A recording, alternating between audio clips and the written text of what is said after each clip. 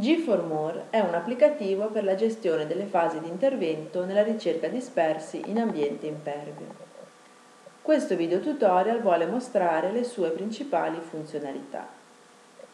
La schermata iniziale è così suddivisa.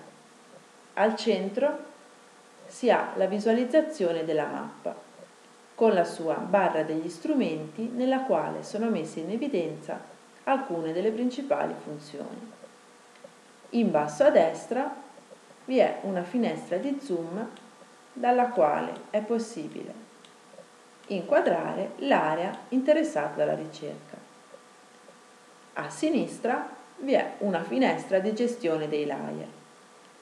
In questa versione demo sono stati caricate ad esempio alcune basi layer, come OpenStreetMap, Google Satellite, lo sfondo fisico e la carta tecnica regionale.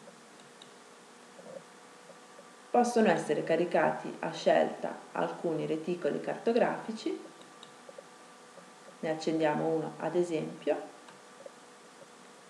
le aree di ricerca create se ve ne sono, le squadre di ricerca, i waypoints e le tracce scaricate dai device GPS.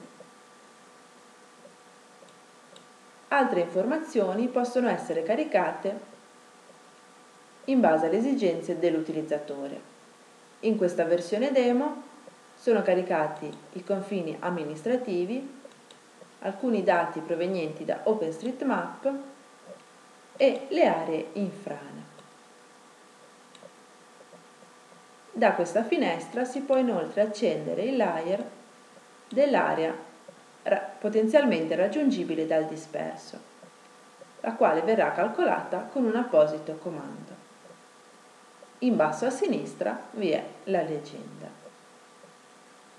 A destra, invece, vi è la finestra di gestione dei database associati, dal quale, aprendo il menu a tendina, è possibile gestire i dati del disperso, delle aree di ricerca del personale, della formazione ed assegnazione delle squadre ed inoltre è possibile avviare o chiudere l'intervento.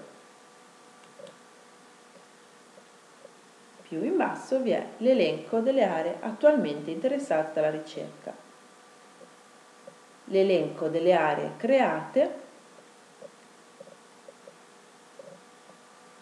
da questo elenco è possibile rendere visibile o meno ogni singola area. Ed è possibile farvi lo zoom.